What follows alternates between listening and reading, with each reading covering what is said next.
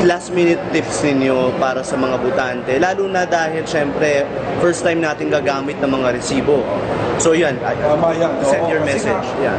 Kumbaga sabi ko nga, ah, sa ating pakikipag-usap sa AFP at sa PNP, pinasabi nila at sa mga senior officials ng COMELEC, um, mas handa tayo ngayon kaysa 2010 at 2013.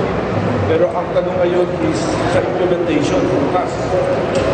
Ating magiging implementation? At ang uh, isang bago sa ating halalan ngayon ay yung pag-implementa ng resibo. At hindi talaga natin alam kung paano nga ito uh, makaka-apekto sa proseso ng pagboto.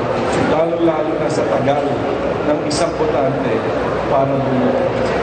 At alam naman natin lahat na ang uh, kalaban ay ang mahabang pila.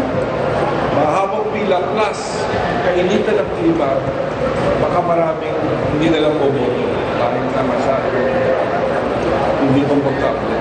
So siguro ang payo natin sa ating mga botante, una-una, magdala ng listahan. Yan ay talaga makakabilis ng uh, kanilang pagboto.